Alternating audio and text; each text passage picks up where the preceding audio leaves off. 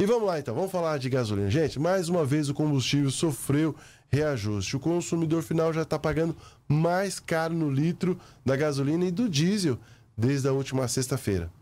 Durou menos de dois meses a alegria do motorista treslagoense. Após 57 dias sem sofrer nenhum reajuste, a Petrobras anunciou aumento dos preços da gasolina e do diesel. Os novos valores foram repassados aos consumidores na sexta-feira e por aqui o litro da gasolina já ultrapassa os R$ 8,00 em alguns postos de combustíveis da cidade. Por conta disso, é que o Procon chegou a realizar uma pesquisa de preço em 25 postos de combustíveis da cidade. O valor mais alto da gasolina comum encontrado foi de R$ 8,24 no litro. E a gasolina aditivada está sendo vendida a R$ 7,78 pelo preço mais elevado.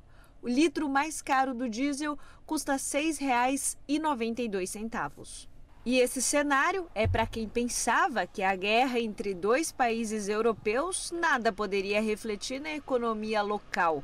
O presidente da Simpetro de Mato Grosso do Sul, Edson Lazarotto, explica os efeitos disso. Tudo isso pelo fato do conflito entre Rússia e Ucrânia, que disparou o preço do barril do petróleo no mercado internacional. E como a paridade dos combustíveis utilizada pela Petrobras é nos preços internacionais do barril do petróleo e do dólar, é, os preços se elevaram assustadoramente, chegando ao ponto de ter um pequeno desabastecimento já em algumas regiões do país, porque é um problema mundial e não somente do Brasil. Segundo o comunicado da Petrobras, com a nova alta, o preço médio de venda da gasolina passou de R$ 3,25 para R$ 3,86 por litro, uma alta de 18,8%. O valor do diesel também subiu, de R$ 3,61 para R$ 4,51 por litro, um aumento de 24,9%. Nos postos de Três Lagoas, o valor que chega para o consumidor final é ainda mais salgado. Agora, com mais essa alta, está pesando no orçamento? Muito, né? E aí vai completar, tá colocando... Não, só 200 pilas só. Não dá conta de completar? Não dá, não. É um absurdo, né? Tinha que ser bem mais barato o preço, tá sem condições de abastecer o carro. E aí, qual que é o recurso? É vir colocar cinquentão, é tentar economizar, é andar de carona? Por cinquentão só para ir rodando e rodar o mínimo possível. É, tem que é, enfiar o carro na garagem e andar de a pé. Não tem outra solução. É a estratégia do brasileiro. É a estratégia do brasileiro.